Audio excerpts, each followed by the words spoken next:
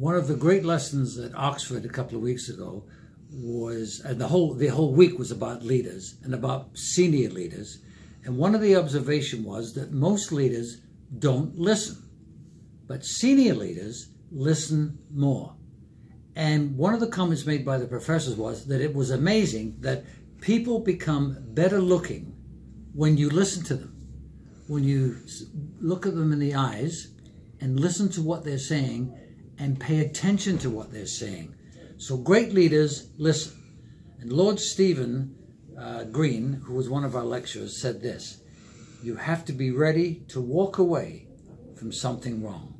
So unless you're listening, you don't know whether they're telling the truth or not.